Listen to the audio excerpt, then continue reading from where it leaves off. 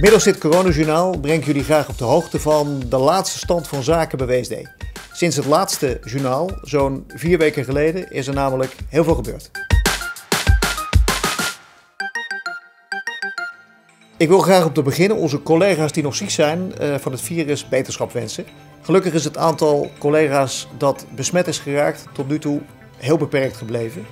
En een deel hiervan is zelfs alweer hersteld en aan het werk. Nou ja, om te beginnen ben ik heel blij dat we aan het begin van de crisis het besluit hebben genomen om waar mogelijk en verantwoord door te draaien. Uh, nou ja, wat is er zoal uh, gedaan? we hebben voortvarend en innovatief de maatregelen genomen om ons aan de RIVM-richtlijnen aan te passen. Zoals de anderhalve meter richtlijn, de hygiënemaatregelen.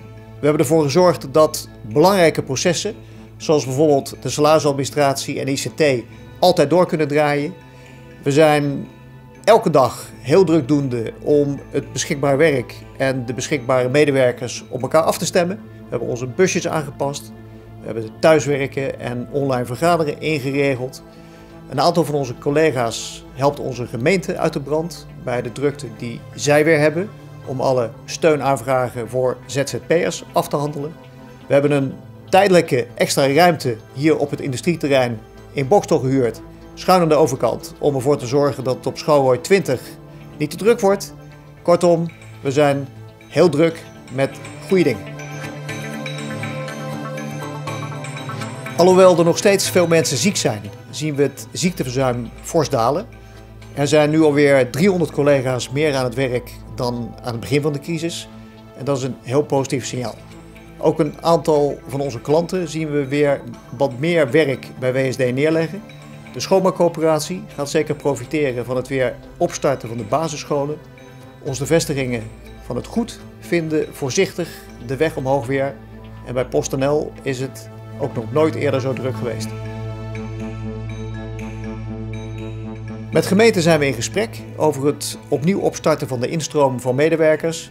En we denken ook al na over hoe we gemeenten kunnen ondersteunen bij het aan het werk helpen van een grote groep mensen die de komende tijd waarschijnlijk in de bijstand gaan belanden. Ik vind dat we het goed doen en natuurlijk zijn er nog steeds zorgen. Uh, er zijn nog steeds heel veel collega's thuis en er is nog steeds veel werk weggevallen. Maar ik zie, ik zie veerkracht, ik zie creativiteit, ik zie uh, saamhorigheid.